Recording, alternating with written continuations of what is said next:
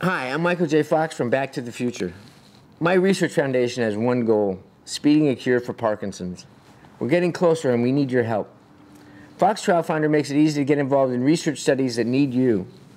It's launching here in Europe and we hope you get involved. As many as 70% of research studies worldwide are delayed by lack of volunteers. That means patients have to wait longer for new treatments. You can help change that.